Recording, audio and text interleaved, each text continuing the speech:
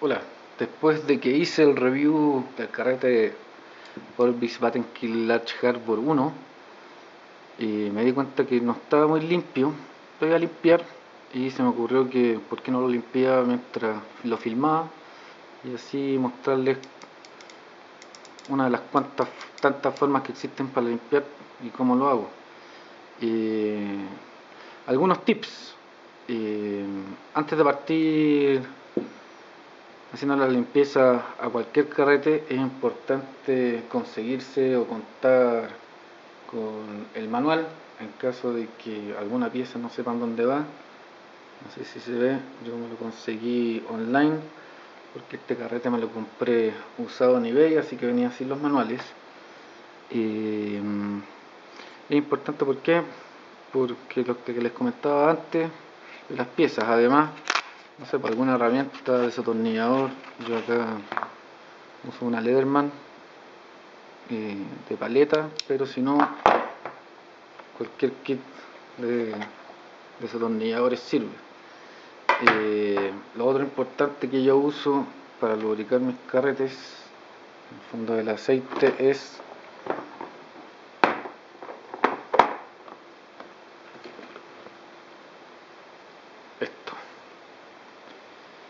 Eh, para la suerte nuestra está disponible en Chile. Cuando me lo compré, creo que me lo compré en Rodangan. Pero es muy probable que lo puedan conseguir en otros lados y si no, obviamente el fiel eBay. Eh, aquí además, si lo pueden ver como un tip que les puede servir, esta caja que va dentro de esta otra caja, eh, me lo compré en Home Center y es súper cómodo para organizar las cosas, es barato eh, y es cómodo. Aquí tengo todo tipo de cachoreo, la llave Allen por ejemplo para eh, ajustar el freno del Lanson Ula Purist, un encendedor por cuando hago mis nudos, para limpiar las líneas, para limpiar los lentes. Eh, aquí tengo los marcadores con que marco mis líneas. Si se fijan esta tiene dos marcas por lo tanto es una línea 2 son algunos truquitos que pueden usar. Volviendo al tema de la limpieza además van a necesitar un paño este ya está bastante sucio de microfibra yo lo que hago usualmente lo mojo en una esquina con eso limpio con el resto seco de medida que se va ensuciando, cuando ya queda sucio, cuando está muy sucio, lo lavo. Y otra que, cosa que pueden necesitar son estos Q-tips y alcohol. y los Q-tips y el alcohol son para eh, poder limpiar todas aquellas zonas en donde no podemos llegar, estas curvas, estos círculos. Yo después de cada viaje de pesca, obviamente lo limpio solamente con esto, pero cada cuando en vez se hace necesaria una limpieza mayor. Eh, bueno, manos a la obra. Voy a ir cortando y dándole de nuevo el video para que no se haga tan largo. Eh, mojar un poco el cutip en alcohol para poder limpiar el carrete con el Q-tip lo que hago es limpiar todas las zonas en las que es difícil limpiar con el con el paño. Si se fijan desmonté el mecanismo de sujeción de la bobina en el carrete quería comentar que el uso de alcohol ¿por qué es bueno? porque en las zonas en que no lo puedo secar con la parte seca del Q-tip en una parte hecho alcohol, en la otra no es que después de un rato eh, el alcohol se seca. Por lo tanto es un buen truco también lo que voy a hacer ahora es desatornillar esto porque mm, también me gusta limpiar ahí y dejarle una gotita de, aceite y hay que tener cuidado ¿por qué con algodón? porque muchas veces entra arena etcétera y para no rayar el carrete hay que ser cuidadoso al principio se me olvidó mencionar que a veces es necesario tener más de un desatornillador. ¿por qué? porque en el caso particular de este carrete el sistema de sujeción de la manilla tiene un tornillo acá abajo.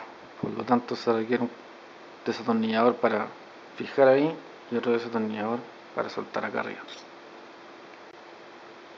Bueno ya que saqué la manilla aproveché de limpiarla eh, quería mostrarle la cantidad de aceite que le he hecho que es muy poca, es solo un toque eh, le he hecho una gotita con el dosificador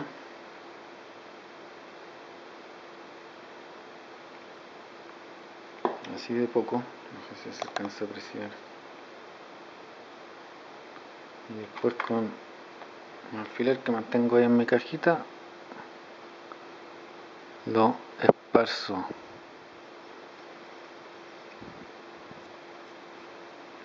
Si se fijan en lo que les comentaba, no sé si se alcanza a apreciar anteriormente, justo ahí, tiene una raya porque le entró arena, una raya muy pequeña. Por lo tanto vale la pena tomarse el tiempo para limpiar los carretes de vez en cuando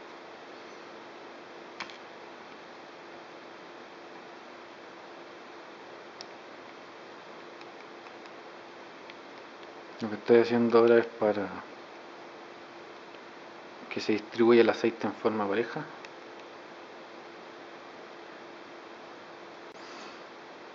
Otra de las cosas que uso que les puede servir también como truco como eh, técnica para evitar para no tener que apretar los tornillos muy fuerte y dañar el hilo o dañar la ranura eh, le echo una pequeña gotita de Permatex. Azul. Hay Loctite azul te lo compré en la casa del perno pero eh, bastante bueno y solo, basta con una sola gotita. Y una vez que se seca después se sale o sea no es que te quede pegado el perno para siempre. Es un truco que uso y les puede servir como idea no sé si se va a alcanzar a apreciar pero es una pequeña gota.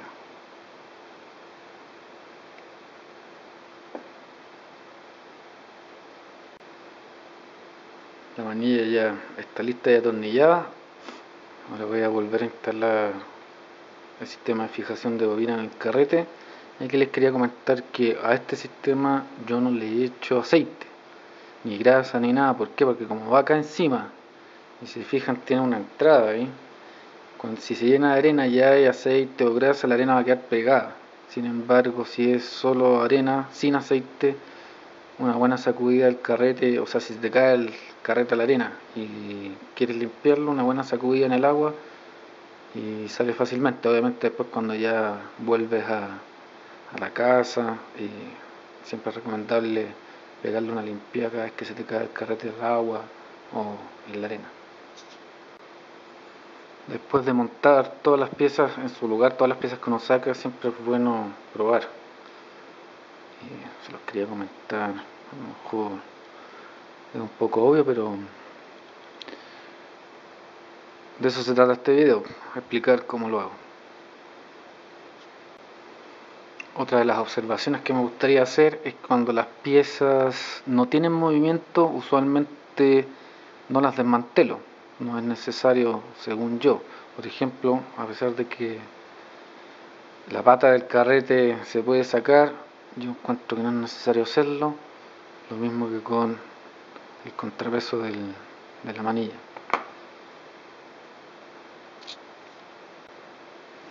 Como pueden ver el interior del freno particular de este carrete está bastante limpio como les decía no me gusta tener mucha grasa o aceite excesivo porque claro si le entra arena y quedaría atrapada. Si se fijan, a pesar de no haber hecho esta limpieza hace más de un año y medio, se ve bastante limpio por dentro, todavía no lo limpio.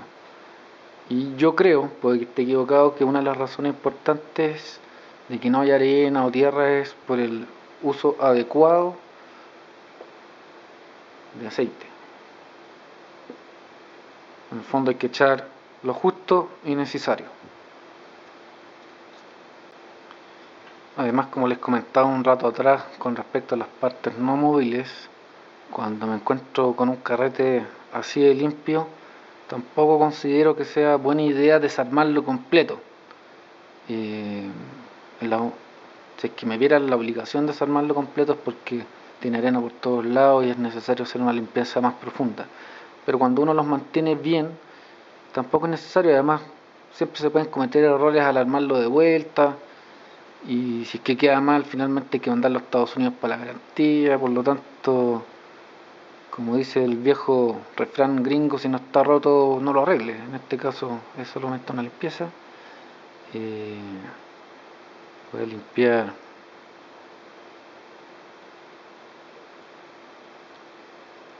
solamente las partes que se ven.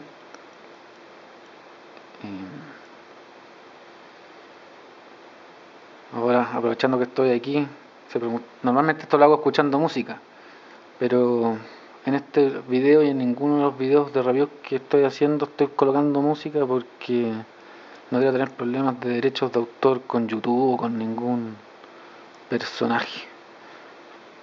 Puede ser más fome, pero me protege a mí de todos estos temas de demandas, etcétera. Bueno, ya estoy terminando y otro truco para evitar echar mucho aceite con la mano limpia me eché una gota en el dedo y con eso aceito el eje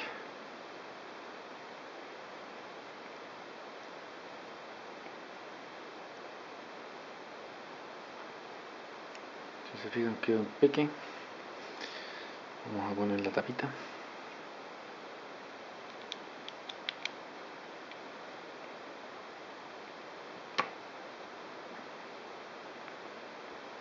Vamos a echar ya estamos terminando ya.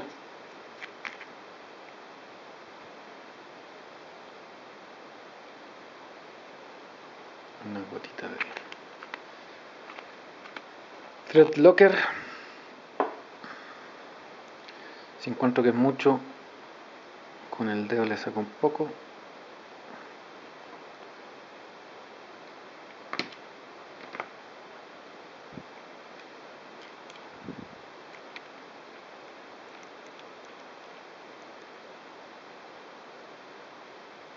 Acuérdense no apretar mucho pero tampoco muy poco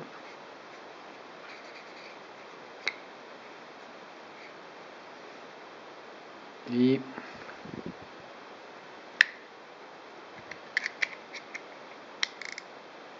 voilà